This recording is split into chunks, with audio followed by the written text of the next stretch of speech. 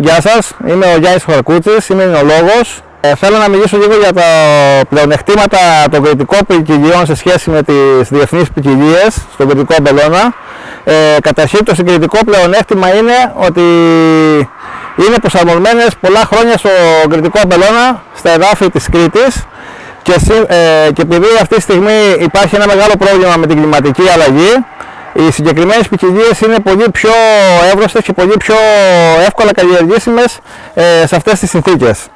Το πρώτο πλεονέκτημα μπορούμε να πούμε ότι είναι αυτό. Το δεύτερο πλεονέκτημα είναι ότι οι κριτικές ποικιλίες ε, σε, σε χώρες στο εξωτερικό είναι μη συγκρίσιμες με τις ε, διεθνείς ποικιλίες. Δηλαδή όταν πας να εξάγεις ένα κρασί ε, είναι πολύ πιο εύκολο να εξάγεις μια κριτική ποικιλία παρά ένας σαρντονέ από μια σειρά που μπορεί να βρεις από διάφορες χώρες, από τη Χιλία, από την Αργεντινή, που μπορεί να βρεις ακόμα και πιο φθηνά κρασιά και μπορεί να είναι και ανάλογης ποιότητας. Το, το συγκεκριτικό πλεονέκτημα αυτών των ποικιλίων είναι ότι δεν, ξέρει, δεν ξέρουν τη γεύση τους και, τη, και πώς είναι γενικά τα αρώματά τους και αυτά και είναι κάτι ιδιαίτερο για αυτούς.